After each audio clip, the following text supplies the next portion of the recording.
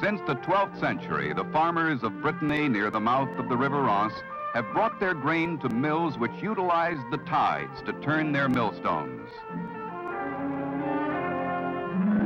By the 18th century, these mills inspired a French engineer to devise a plan to produce energy continuously using the ebb and flow of the tides.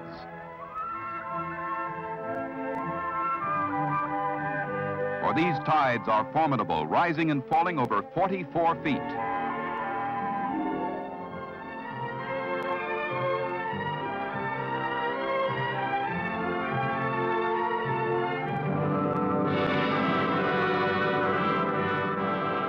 But it was not until 1960 that work on a tidal power dam was undertaken. 1962, 1963. By 1964, the power plant was under construction. This would eventually house 24 turbo generators, in which the turbines and alternators together make up what is called a bulb unit, which uses both the ebb and flow of the tide to generate energy.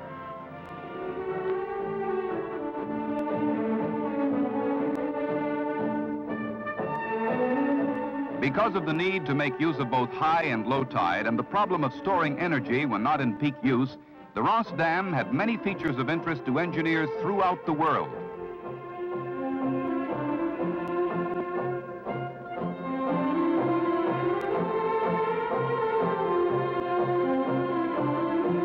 By changing the direction of the vanes, as well as their angle, full advantage can be taken of the movement of the sea.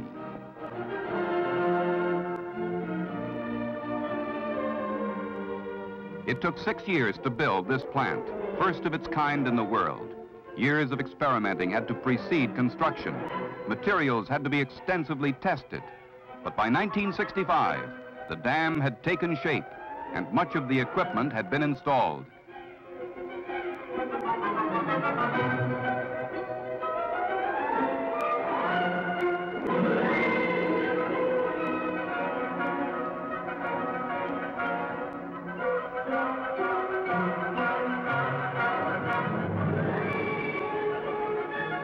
When the plant is fully operational, the huge turbines will generate 240,000 kilowatts of electricity.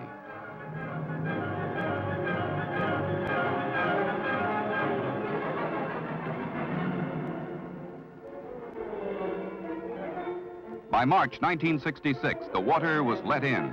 Today, the dam is completed, and the occasion was appropriately elaborate. President de Gaulle came from Paris to cut the traditional ribbon and make a speech in which he praised the dam as a great technological achievement.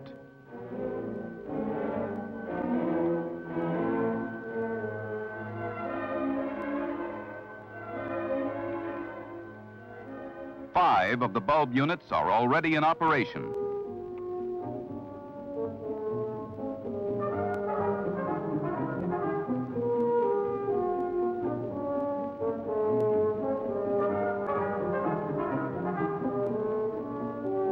At the control room, the president switched the power from the dam to the national network.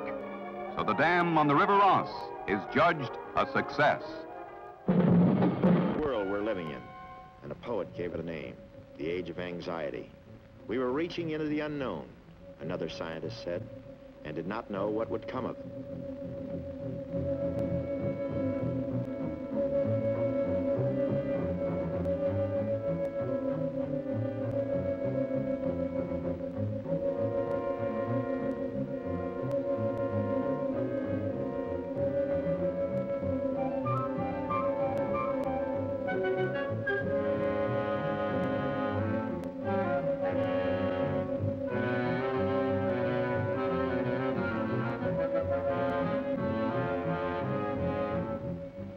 Himself was a most uncertain element, and he had to devise new tortures for himself to test whether flesh and blood could endure the world that he was making. On a mile-high California mountain peak, one day in 1888, astronomy came of age in America. The most powerful telescope the world had ever known was turned toward the heavens in the Lick Observatory, a gift of James Lick, a California pioneer who lies in a crypt at the telescope's base.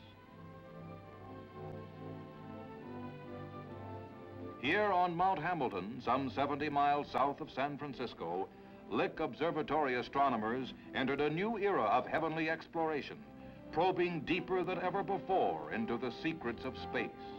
Their tool was this towering telescope with its 36-inch lens, truly a giant in its day. Looking through the eyepiece, astronomers have studied mysteries of the universe that stirred the awe and imagination of men for centuries. Made with all the precision of a fine watch, the telescope weighs more than a modern-day car. With a complex